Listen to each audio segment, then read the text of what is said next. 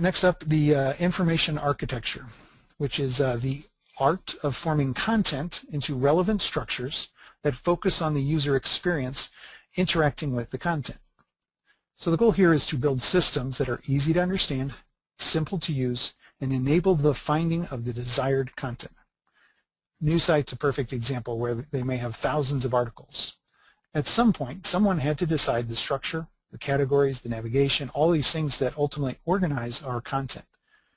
And this structure has a, a real impact on how easy it is for a user to find the content they're looking for. This is essentially what information architecture is. So why does this uh, topic in a, uh, in a lesson focused on digging into the design process make sense? Well, it, uh, it uh, actually makes really good sense because oftentimes designers are inadvertently taking on the role of information architect, especially in smaller sites. If you have a site with less than, say, 50 pages, there's pretty good chance there's not an information architect involved. In, in fact, um, in most cases it's not. I would say a small amount of sites actually make use of someone dedicated to this role. So the designer sort of inadvertently takes on this role. So I think it's a good thing to be aware of, to understand, and to start to think about.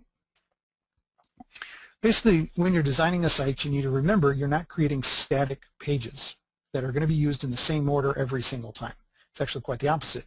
Users are going to land on any and every page of your site via search engines or links, and the expected routes through content are going to be totally unexpected. Like you're not going to be able to predict consistently how people will go. Now there might be some trends that emerge, but there's always going to be a huge variety in terms of how people actually sift through your content. So with this in mind, we need to ensure that the design effectively communicates the context of a page as a part of the entire site and that it enables users to easily find what they're looking for. Again, this is exactly what info architecture is.